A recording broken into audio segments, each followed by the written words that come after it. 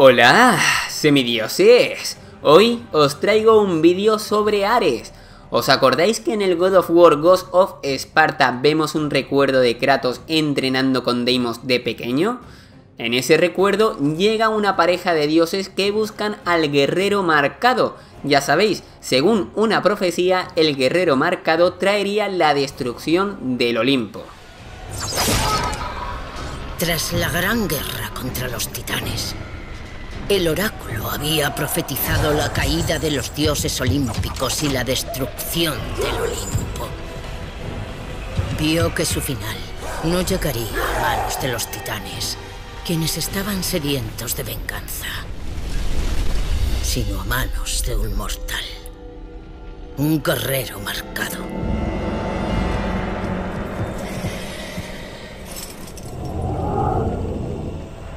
Quien controlase al guerrero marcado, controlaría el destino del Olimpo. Bueno, pues en ese juego se ve que Ares se equivoca y elige a Deimos, ya que este posee unas marcas de nacimiento.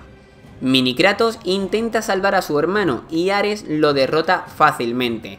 Además, alza su espada para acabar con su joven vida, pero es detenido por Atenea, la cual indica que el chico no tiene nada que ver, que Zeus solo quería que se llevaran al marcado. Así pues, la pareja se va y Deimos sería encerrado. Pues bien, ahora viene la característica parte en la que os recomiendo un vídeo el cual pues tiene bastante que ver con este y es importante verlo antes de continuar. Ese vídeo como ya sabéis es el de ¿Por qué Ares salva a Kratos? Dura solo 3 minutos y es bastante bueno, en serio. En fin, confío en que lo hayas visto, y si es así, ya puedes comprender mejor la teoría que voy a decir a continuación.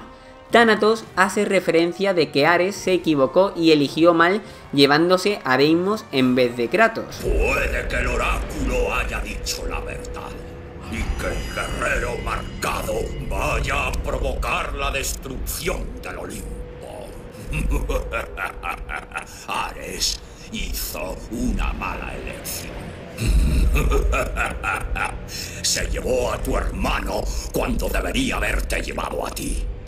Mi teoría y lo que me gusta pensar es que Ares sabía que el guerrero marcado era Kratos y eligió mal queriendo, pues ya sabéis que Ares buscaba al guerrero perfecto para derrocar a Zeus y por ello hizo un paripé sabiendo que la buena de Atenea lo pararía y Ares conseguiría salvar por primera vez a Kratos. Esta teoría sería apoyada por el cómic de God of War, cuando Ares, teniendo que elegir a un campeón, elige a Kratos, lo cual cobra más sentido si Ares sabe que Kratos es en realidad el guerrero marcado, el futuro guerrero perfecto. ¿Qué opináis vosotros? Dejádmelo en los comentarios y si queréis aportar alguna teoría o tema para que lo comente en un próximo vídeo, pues podéis hacerlo, que como siempre leo todos los comentarios.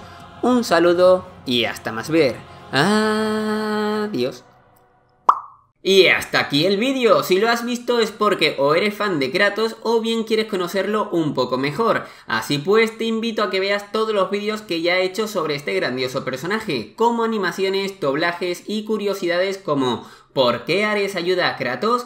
¿De dónde aparece el rey bárbaro? ¿Por qué Kratos no puede morir? Y muchas preguntas más resueltas ya en el canal. Sé un buen semidios y espartano suscribiéndote a un canal que de verdad es fan de Kratos. Mis tres vídeos que te recomiendo de God of War son Kratos vs Hull, el resumen completo de God of War y el cómic de God of War. En serio, no te los puedes perder, no son épicos, son kratósticos.